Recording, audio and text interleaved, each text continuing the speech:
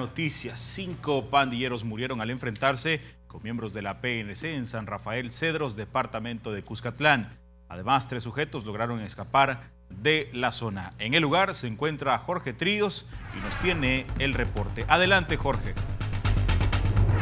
Muy buenas tardes, compañeros. En una vivienda ubicada en esta zona del Cantón Palacios del municipio de San Rafael Cedros se generó el enfrentamiento en el que murieron cinco sujetos y se decomisaron tres armas. Veamos los detalles.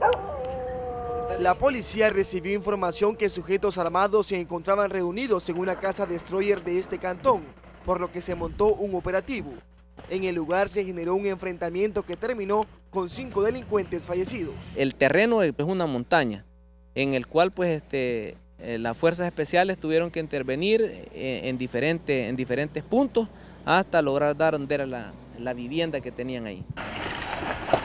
Se explicó que los fallecidos eran delincuentes que mantenían atemorizada a la población y que operaban en diferentes zonas del departamento de Cuscatlán y San Vicente. Se había tenido información de este lugar a través de la población de que eh, tenían dominado totalmente este, este cantón Palacio, el cual pues este, con, al, al quitar esta estructura de aquí, ellos ya van a gozar de paz y tranquilidad en esta zona.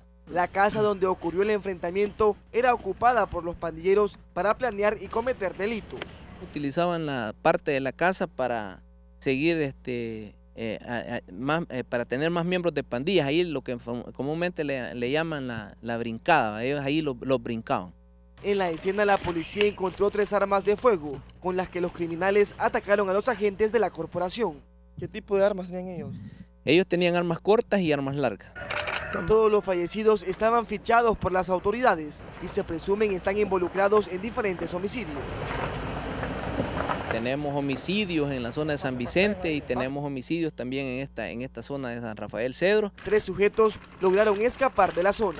Los jefes policiales aseguraron que este es un duro golpe a la estructura que opera en este cantón. Sin embargo, se dijo que se continuarán realizando procedimientos como este para desarticular a la estructura criminal. Hasta acá la información, que pasen feliz tarde. Gracias, Jorge. Buenas tardes.